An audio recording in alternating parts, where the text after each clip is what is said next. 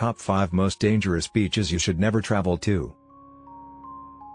Number 5 Playa Zipolite, Mexico When a place's nickname is the Beach of Death, you'll want to think twice about visiting. Playa Zipolite looks like a stunning oasis, but its waters boast strong and potentially fatal undercurrents. Thanks to the beach's growing popularity a special lifeguard team has been put in place, still, you may want to choose a different destination. Number 4 Cape Tribulation, Australia if you want to swim the waters of the aptly named Cape Tribulation, you wear a stinger suit as the area is home to a lot of stinging jellyfish. Saltwater crocodiles are also prevalent. The locals advise visitors stay away from swimming in the mouths of rivers. If that's not enough to keep you out of the water, consider these obstacles, cassowaries, big flightless birds, whose dagger-like claws can disembowel you, and stinging trees which, yes, can actually sting you quite painfully with their jagged edge leaves. Number 3 Gansbaai, South Africa not far off the coast of this popular vacation destination lies a stretch of ocean called Shark Alley. Shark cage diving,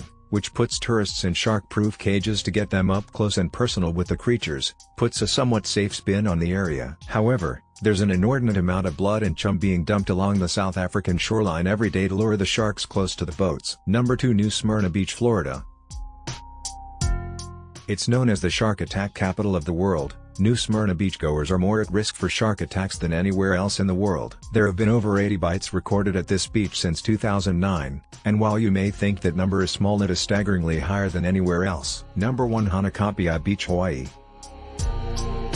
the stunning two-mile hike to Hanakapiai Beach on the island of Kauai proves that looks can be deceiving. While the destination may look like paradise, that water holds incredibly strong rip currents. The trail sign keeps an updated tally of the number of deaths stemming from visitors who chose to forego caution and swim anyway. Thank you for watching.